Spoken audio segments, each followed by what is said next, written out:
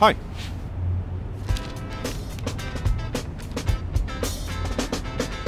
You've all heard the expression, hot offer. What does it mean in relation to a car? It's when the temperature gets up to 35 degrees outside, it heats up to 80 inside. Oh, that's really hot. That's a sauna on wheels.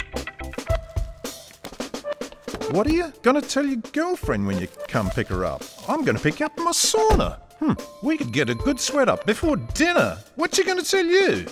Hot off, hot off, hot off. What's the answer? Silvercoat. Hmm. Silvercoat. This is the answer. This keeps your car cool in summer. Silvercoat. Hey son, hot off. It's a hot offer.